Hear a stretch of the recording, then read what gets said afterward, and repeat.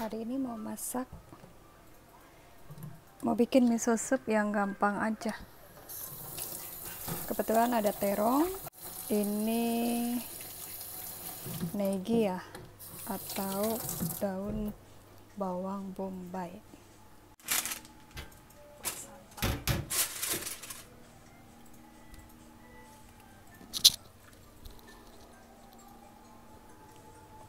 cuci bersih dulu terong. Kemudian daun bawang. Ini daun bawangnya emang kotor banget ya karena ini organik.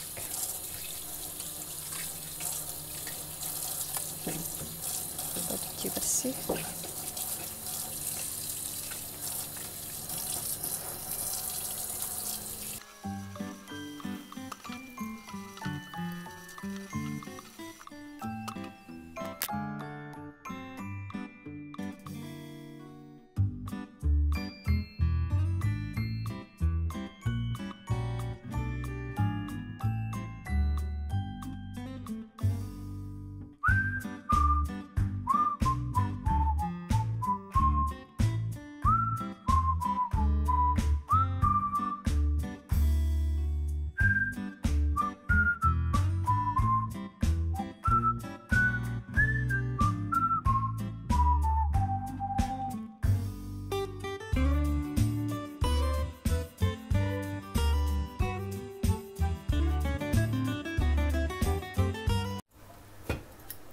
500 ml air.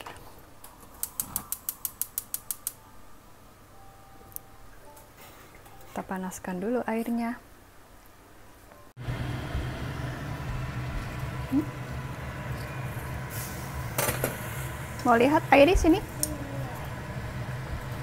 Susuk ini udah boleh kayaknya udah udah agak empuk gitu terongnya bisa dimasuk. Ini bisa masuk. Tama eh taman negi bukan? Negi negi negi. Namanya negi. Terus kita pakai dasi.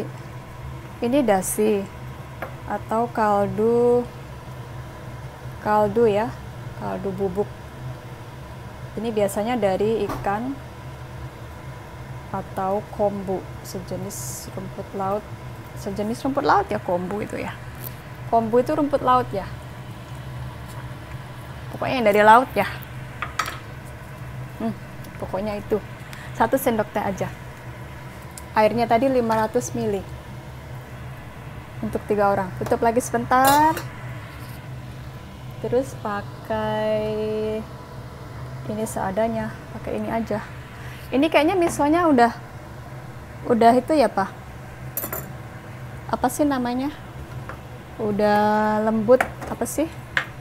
Jadi nggak perlu di nggak perlu di blender lagi saring.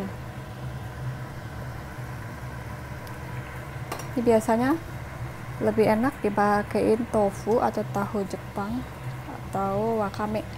Tapi karena nggak ada ya udah pakai seadanya ini misonya. Mau pakai satu sendok teh penuh. Caranya. Sini dulu. Kita kasih air sedikit-sedikit sambil di sambil diaduk. Ini kalau orang Jepang masak biasanya pakai sumpit. Oke. Saya juga akan pakai sumpit biasanya begini nih kalau orang Jepang bikin miso tuh. Ini sambil di masukin air dikit-dikit sambil diaduk. Sampai misonya hmm, meleleh kemudian masukkan. Apinya kita matikan.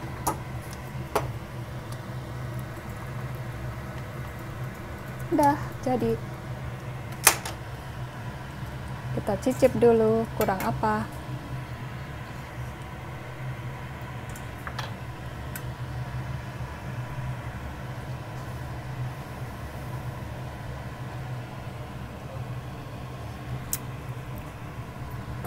Kayaknya udah pas. Oke tutup. Selanjutnya mau bakar ikan. Mau bakar ikannya nggak mau di toaster mau mau pakai fry pan aja. Soalnya toasternya baru jadi biar nggak repot nyucinya biar nggak kotor juga. Namanya dikasih pinjam. Jadi saya mau pakai fry pan aja atau penggorengan atau teflon aja biar gampang nyucinya. Salmon. Kita bakar aja. Di sini enak. Pakainya kompor gas ya. Kalau di Bangkok di apartemen tempat kami tinggal pakainya kompor listrik jadinya panasnya panas banget. Uapnya juga uap panasnya juga berasa panas banget. Ini mau bakar salmon. Ikan salmon juga. Ini semua dari mertua ya karena kita eh, karena belum bisa keluar buat belanja kan masih karantina sampai tanggal 9 nanti. Jadi ini pas kita masuk ke sini semua udah ada. Semua udah disiapin sama mertua. Dan kita ini saat ini tinggal di apa sih? Kalau kita nyebutnya kos-kosan ya kalau di Jepang bilangnya apartemen. Jadi apartemen punya mertua lah. Kayak gitu kali istilahnya. Jadi semua udah disiapin sama mertua. Dan udah disiapin mentahnya kayak gini juga kalau pas mertua masak juga dikirimin lagi. Karena kan mertua oh ya tinggal berdua aja. Dan ibu mertua suka masak. Kalau sekali masak juga banyak. Apalagi tahu anaknya pulang gini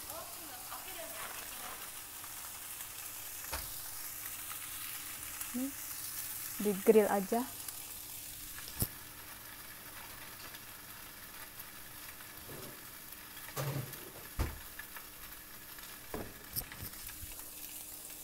Di sini kalau di Indonesia baru jam setengah empat kali ya. Di sini udah mau setengah enam. Beda dua jam sama waktu Indonesia Barat Indonesia. Bagian barat ya.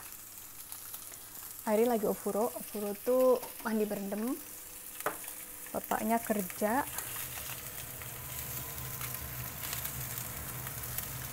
Dan maknya masak. Ini Japanese salmon ya? Kalau Japanese salmon tuh orang Jepang bilangnya sake. Salmon sendiri itu juga beda-beda jenisnya. Hmm, suara suara kamar mandi. Airnya udah siap pak ini apa? Sake. Harus ditutup kali ya biar minyaknya nggak nyiprat-nyiprat. Ayo tutupnya apa ya? Tuh sama aja nggak ada tutup lagi. Kita pakai yang tadi tutup miso tadi. Masak yang paling gampang. Habis kalau nggak dimasak nanti makin numpuk. Ya kalau nggak dimasak nanti moto-moto kuru deh show aja yang ngegrill gini. Gampang. Kita lihat dulu. Uh balik dulu. Grill salmon.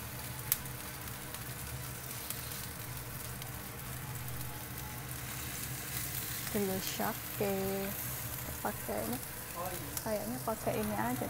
Hai. Mama masak dosta. Ini aja dosta atsui demo mau shima ya sore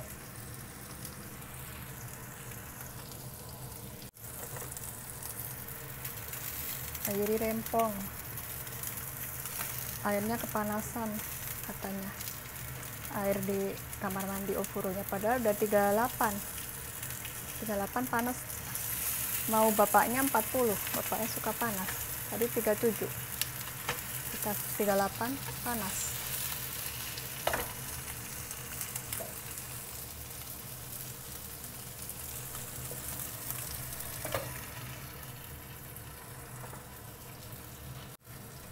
Udah gelap setengah setengah enam ya udah kurai udah gelap. Udah akhir summer ya dari bulan 9 nanti udah mas mau. Jadi udah selesai summernya jadi udah mulai sejuk. Eh not so warm gitu iya Ichiban Atsui. Paling panas tuh bulan Agustus ya karena paling hot-hotnya summer. Nanti udah selesai Agustus ya.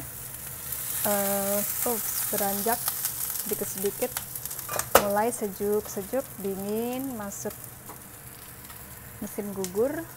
Terus itu masuk musim ke musim dingin ini udah kayak gini aja udah selesai. Udah siap makan malamnya. Ini tadi kita yang bakar ini ini yang bakar ikan tadi. Itu masih ada ini namanya masakan kinpira gobo. Ini masakan mertua. Kemarin di anterin ke sini.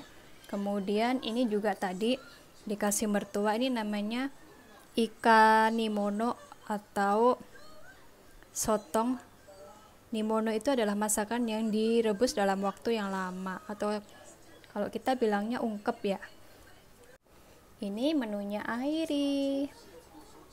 Sengaja ya nasinya sedikit-sedikit soalnya eh, masih banyak sayur sama makanan yang lain. Takutnya nggak habis kalau kebanyakan nasi. Selamat makan